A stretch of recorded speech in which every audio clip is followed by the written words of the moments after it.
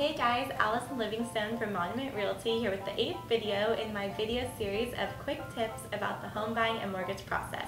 I have Jeff with me today who is one of the owners and branch managers of Town Square Mortgage and today Jeff is really going to compare for us what are some of the benefits of owning versus renting? That's a great question and uh, one that uh, we like to talk about a lot. So when you own a home, um, I always like to call it like a built-in savings account because each month you're going to make payments towards your home and part of that payment is going to go towards the principal of your home.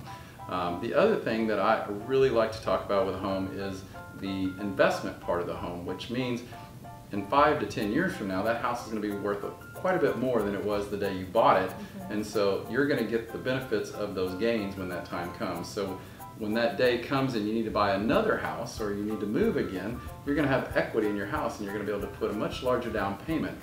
Um, the one thing about the down payment is usually people think they're having to come up with a lot more money when they buy a home and, and, as we talked about earlier, that is not necessarily the case and in some cases it may not be much more at all, if any. Nice. Well, guys, if you're ready to stop renting and start owning, give me or Jeff a call today. Thank you.